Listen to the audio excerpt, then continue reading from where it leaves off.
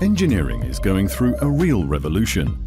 Cloud computing, the Internet of Things, and data integration have a huge impact on industrial production systems.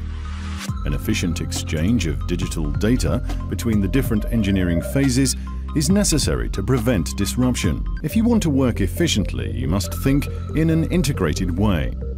That starts in the concept phase. Thanks to the digitization and modularization of engineering data, you can immediately start with conceptual design.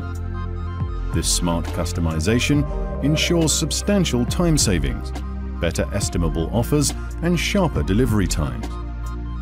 Smart engineering stands for a smart connection of electrical, mechanical and software data.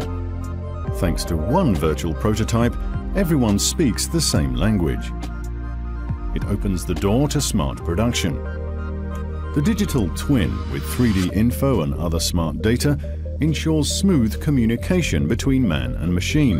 The better and more accessible information is built up in the concept, engineering and production phases, the less time you'll lose later on in case of downtime. You can also store everything in the cloud, so everyone has direct access to the right digital data at any given time.